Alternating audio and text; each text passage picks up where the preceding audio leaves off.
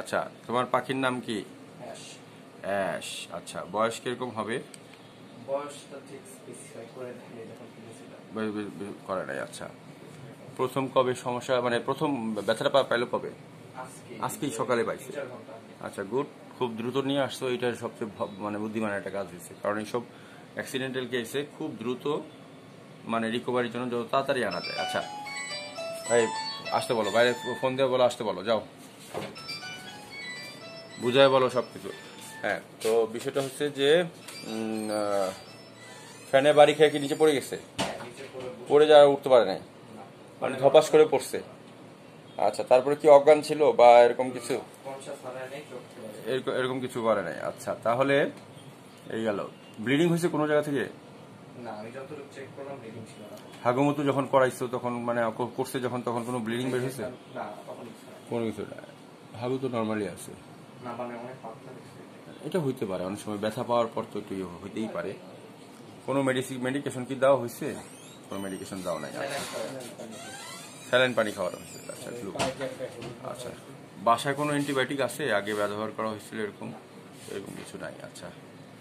তাহলে এখন বিষয়টা হলো, যেহেতু ফ্যানে বাড়ি খাইছে এবং সে দাঁড়াইতে পারতেছে, হাত পা ভাঙে নাই। ডানা দুটো নর্মাল আছে, আমি ডানা দুটো টান দিয়ে দেখলাম। ডানার কোনো পার্টে ইনজুরি নাই। একটা ইনজুরি আছে, সেটা হলো বুকের এই জায়গাটা একটু ফোলা আছে। তো এখন যেহেতু ঈদের সময়, আমরা এক্সরেটা করাতে পারছি না। তো এখন আমরা সাপোর্টিভ মেডিকেশন দিয়ে ওর যেন ভিতরে ইন্টারনাল ইনফেকশন না হয়, সেটা ইয়ে করব। এই আর কি। আর একটা জিনিস হলো, তোমার খেয়াল রাখতে হবে, আগামী দুই দিন কোনো অ্যাবনর্মাল বিহেভিয়ার তোমার ইয়ে প্রকাশ পায় কিনা। আর একটা জিনিস হলো, বুকের যে ফোলাটা, সেটা আরও বাড়ে কিনা, সেই জিনিসটা একটু খেয়াল রাখে এই যে বুকের যে যে জায়গায় হলুদ লাগাচ্ছে এই সাইডে আর এটা হলো তোমার রাইট বুকে আর কি। রাইট বুকে সেই ব্যথাটা পাইছে। এখন যেভাবে বসে রয়েছে এটা রাইট সাইড হ্যাঁ।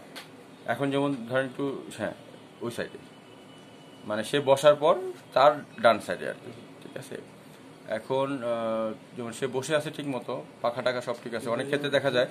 কিন্তু এই যে ব্যথা যে পাইছে বুকের এখানে তো ব্যথা পাইছে যার ফলে সে চোখ বন্ধ করে রাখছে তার কষ্ট হচ্ছে ঠিক আছে? তবে যদি তার লিভার কিডনি খুব বড়, বেশি না ফাটে, বা থোরাসিক যে ক্যাভিটিটা আছে মানে যেটার মধ্যে ফুসফুস হার্ট থাকে, ওটা যদি কোনো ব্রোক ব্রেকডাউন না হয় ভিতরে যদি বাতাস না ঢুকে যায়, বা কোনো ড্যামেজ না হয়, তাহলে ইনশাল্লাহ বেঁচে যাবে, কোনো সমস্যা হবে না। কিন্তু অনেক সময় দেখা যায় ফ্যানের পাখায় জোরে, জোরি বা জোর- জোরে বাড়ি লাগলে লিভার কিডনি, লিভারটা ফেটে যায় হ্যাঁ ফুসফুসটা ফেটে যায়। কারণ ফেটে যাওয়ার লেভেলটা যদি খুব বেশি হয় তখন রিকভারি করতে চায় না। কারণ কি? অনেক বড় বেশি হয়ে গেলে। সেই কারণে ফেটে গেলে ব্লিডিং হয় সেখানে সেকেন্ডারি ব্যাকটেরিয়া ইনফেকশন হতে পারে। তো সেই কারণে আমরা অ্যান্টিবায়োটিকটা সাত দিনে একটা কোর্স দিব। সেটা পানির মাধ্যমে খাওয়ানোর চেষ্টা করতে হবে। আর যদি পানিটা সেই ইনটেক না করে তাহলে মুখে দুই তিন ড্রপ মানে হ্যান্ড হ্যান্ড ব্রিডিং করাই দিতে হবে ঠিক আছে?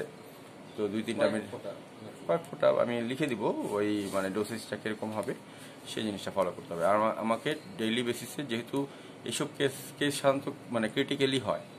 তো মানে কি বলে ডেইলি আমাকে যদি একটু ফোনে মানে হ্যাঁ তাহলে খুব ভালো হয় ঠিক আছে? এই হলো বিষয়। তাহলে হয়ে গেল এখন আমরা প্রেসক্রিপশন করব ঠিক আছে? তোমার ইনফরমেশনের জন্য ধন্যবাদ। আমাদের এটা ইউটিউব চ্যানেলে ব্লগে চলে যাবে। হ্যালো ভিউয়ার্স আসসালামু আলাইকুম। This is vet doctor Shakir Uddin Ahmed from doctor Shakir pet clinic আপনারা যে ককাটেল পাখিটা দেখলেন, ও ফ্যানে বাড়ি খেয়েছে। পাখি পোষা পাখিরা কেজ বার্ডরা সাধারণত প্রায় এরকম অ্যাক্সিডেন্টের শিকার হয়। তো আপনারা এটা সাবধানে থাকবেন যেন আপনার পাখিটাও ফ্যানে বাড়ি না খায় এবং ফ্যানটা যখন ছাড়বেন, তার আগে ওকে সেফে রেখে ফ্যানটা ছাড়লে ভালো হয়। তো আপনারা দেখলেন কীভাবে আমি যে বিষয়গুলো বললাম, যে সতর্কতার মানে পরবর্তীতে হয়ে গেলে কি করতে হবে সেই সেই বিষয়টা আমি বললাম। এখন আমি প্রেসক্রিপশন করে দিব। তো আমাদের ভিডিওটি ভালো লাগলে লাইক বাটনে ক্লিক করে সাবস্ক্রাইব করে আমাদের সাথেই থাকবেন। ধন্যবাদ সবাইকে।